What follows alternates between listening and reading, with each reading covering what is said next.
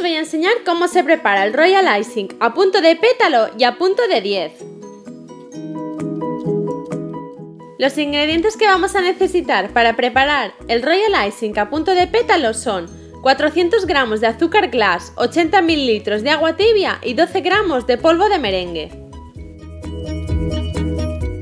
Y aquí tenemos el polvo de merengue, el azúcar glass y el agua tibia.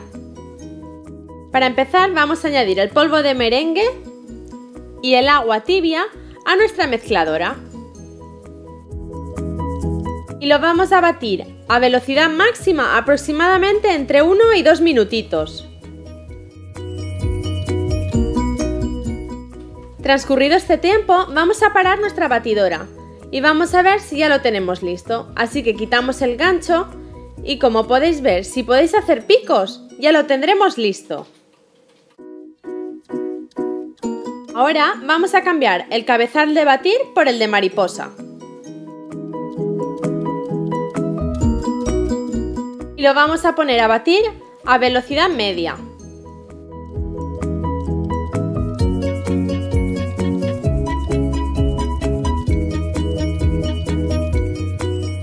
Y ahora vamos a ir añadiendo el azúcar glass sin parar hasta que esté todo integrado. Transcurridos 5 minutitos habremos conseguido ya nuestro Royal Icing a punto de pétalo. Como podéis ver es súper compacto.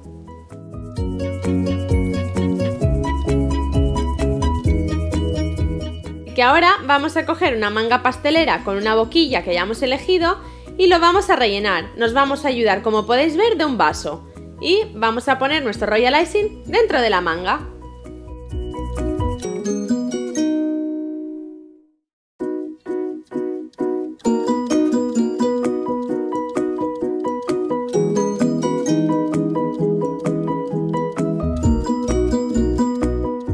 Ahora vamos a preparar Royal Icing a punto 10. Este es perfecto para hacer todos los rellenos de nuestras galletitas.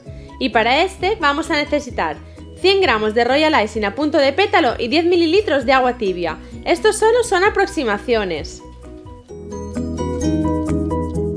Como veis, aquí tenemos el Royal Icing a punto de pétalo, muy compacto, un poquito de agua tibia y con una cucharita vamos a ir añadiendo aproximadamente 10 mililitros de agua tibia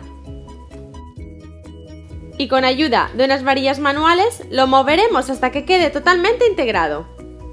Ahora levantáis las varillas y dejáis que caiga un poco de Royal Icing en el centro y contáis hasta 10 segundos. Si se funde totalmente ya lo tendremos listo.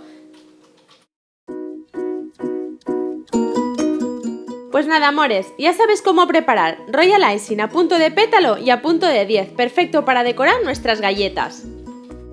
Utilizando polvo de merengue en vez de huevo, la textura que nos va a quedar va a ser mucho más profesional, más blanca y más uniforme, así que os lo recomiendo. Si os ha gustado esta receta, podéis encontrar muchas más en www.lolitalapastelera.com y también me podéis seguir en Facebook, Twitter y Google donde encontraréis un montón de novedades. ¡Os espero! ¡Chao!